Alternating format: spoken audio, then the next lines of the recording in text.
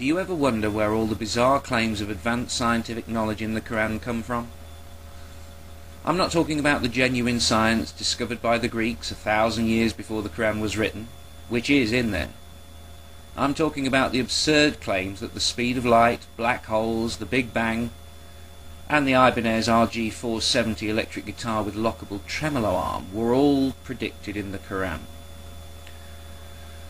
To know the truth of these claims, you need to know a fair bit about science and history. Unfortunately, most people don't. And that goes double for the young and quadruple for the young Muslim, aching to believe his or her culture is not based on lies and irrationality.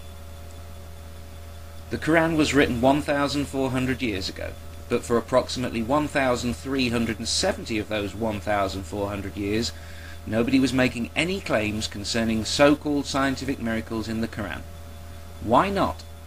If they are so clear, so unarguable as to be considered proof, why did these claims only begin to appear so recently? One would have thought having a book containing scientific miracles would have been a powerful advantage to any competent civilization. Yet the technology in Muslim countries today is almost exclusively purchased or copied from the non-Islamic world. One would have thought, with the aid of the Quran, a book supposedly jam-packed full of medical, biological, geological and cosmological knowledge, that Islam would have produced an Isaac Newton or an Einstein centuries before the real ones came along. After all, according to many modern Muslims, Allah handed them the answers well over a thousand years before the exam, and they still failed. For a modern Westerner, it is hard to imagine being part of a culture that is technologically backwards. We in the West have never seen Islam produce a technological marvel. Imagine it. Imagine Islam producing a hypersonic jet or a robot as capable as those found in science fiction. Imagine how it would feel if Saudi Arabia were to plant their flag on Mars tomorrow. It's hard to imagine. Perhaps this is why it is not immediately obvious to us how Muslims must have felt, seeing infidel machines flying across their skies, listening to infidel music playing inside smaller and smaller infidel boxes.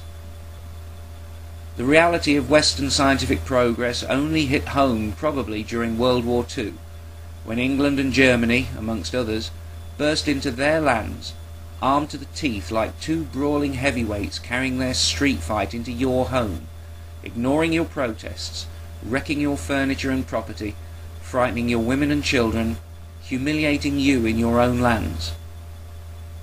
When the Second World War was punctuated by the atomic explosions at Hiroshima and Nagasaki, it's hard to imagine any Muslim maintaining any sense of Islamic superiority. Could things get any worse? Well, yes. The State of Israel was created in the late 1940s, and I can't be sure, but I doubt that for a civilization that once led the world in science, this was good news either. It's not so much that the moon has a special place in the minds of Muslims, so much as that the moon has always had a special place in the minds of all men throughout human history. It was once synonymous with our dreams and unattainable goals. Getting there, for the people of antiquity, and even for some schmucks today, was and is an unimaginable achievement. Man landed on the moon in 1969 with Apollo 11 and left in 1972 with Apollo 17. The claims of modern science being foretold in the Quran began in 1975. It may only be a coincidence, and I am no historian, but when I think of how Western confidence would be affected by a Saudi flag on Mars, I see in the infidels dancing on the moon a moment that might have reduced Islamic self-belief to its lowest ebb. It might, just might, at some deep, perhaps subconscious level, inadvertently added insult to injury. Who else but a desperate people would try to spread the lie that Neil Armstrong converted to Islam? Desperate is the key word. The time was right. Meet Maurice Bucaille. You are now looking at one of the most selfish, irresponsible assholes the world has ever produced. In 1975, Bucaille, a French doctor of medicine and a Catholic, was employed as the family physician of the late King Faisal of Saudi Arabia. Bucaille, perhaps because he sensed the scientific chip on Islamic shoulders, knowing there was a vast and eager potential market, wrote a book called The Bible, the Quran and Science, in which, with a few minor changes to words here and there, he was able to claim that certain verses in the Quran contained scientific knowledge that was unknown at the time the book was written, and was therefore proof of the book's divine origin. The book was snapped up Bucaille became a millionaire. How many young minds has he shackled to his Islam? Maybe millions. But he probably got less than a dollar for each one. Since then, it has become an industry. It's called Bucailleism, and YouTube is swamped with videos attempting to attract new believers through this simple sleight of hand. And sadly, it works. Many young minds, ignorant of Bucaille's reinterpretation of words and verses that had stood for centuries, are persuaded to accept Islam due to what they now perceive as miraculous knowledge in the Quran. An entire commission was formed to make use of this propaganda tool. Western scientists, many who profess existing religious beliefs, perhaps why they were selected, have been lured to attend scientific conferences in Islamic states with the aid of first-class plane tickets for them and their wives, rooms at the best hotels, and of course, cold hard cash. The scientists were reassured that the Commission was completely neutral and in fact wel welcomed any information contradicting the Quran. By the time the scientists realized what was really happening, it was too late. They were interviewed on videotape and forced, politely, to parry endless questions, sometimes for hours, all intended to elicit just one soundbite of just a few seconds, one tired, ill-considered answer that could be used to make it seem that these Western scientists saw miraculous knowledge in the Quran. The more thoughtful mind asks if the scientists concerned actually converted to Islam, as they should if they meant what they said. Invariably, the scientist's reaction was to get back home as quickly as possible and never go near Islam again. It should be noticed that invitations to similar conferences are rarely accepted these days, and never by scientists with a reputation to protect.